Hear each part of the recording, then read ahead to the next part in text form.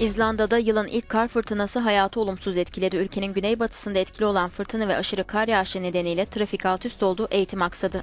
Yolda mahsur kalanların imdadına kurtarma ekipleri koştu.